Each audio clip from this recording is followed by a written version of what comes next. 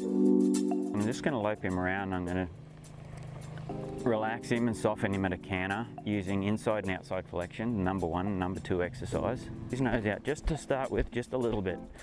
So I can sort of see the outside eyelashes of his outside eye. He'll get better at holding his back up, staying soft over his back, flexing from left to right. So if he he's not responding well to your outside leg, you'll feel it through this exercise. It's an exercise for now, but it'll be a correction tool later on.